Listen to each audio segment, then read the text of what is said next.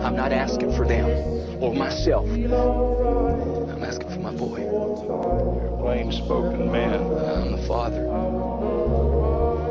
He's the one thing I don't want to fail. I feel like I do every day.